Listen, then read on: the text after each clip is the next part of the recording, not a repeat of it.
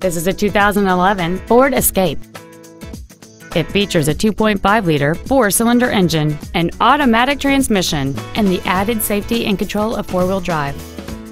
Its top features include a multi-link rear suspension, a low tire pressure indicator, satellite radio, aluminum wheels, roof rails, and traction control and stability control systems.